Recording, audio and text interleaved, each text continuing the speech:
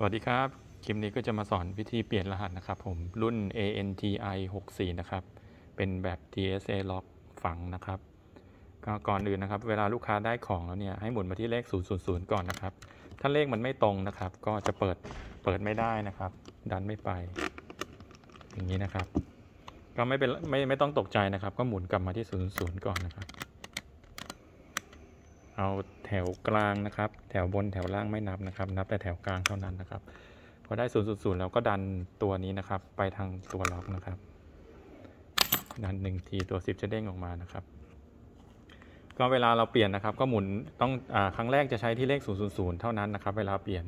ตอนนี้เราได้0 0 0แล้วเราก็กดปุ่มรีเซ็ตปุ่มนี้นะครับ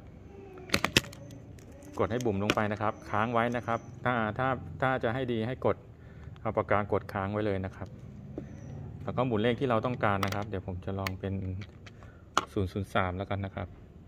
โอเค พอได้เลขที่เราต้องการแล้วเราก็กดดันเปิดหนึ่งทีนะครับ ดันตัวเปิดตัวนี้นะครับ ดันหนึ่งทีตัวปุ่มนี้จะเด้งออกมานะครับ โอเค ตอนนี้ก็จะตัวรีเซ็ตก็จะกลับเด้งกลับสู่จุดเดิมแล้วนะครับ ตอนนี้รหัสก็จะเปลี่ยนไปแล้วนะครับ เป็นเลข 003 นะครับ เวลาเราก็หัวสิบกดลงไป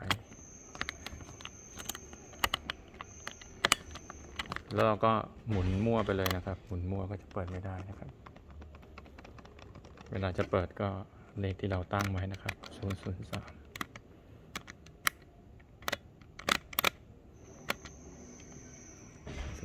แล้วก็ดันเปิดครับ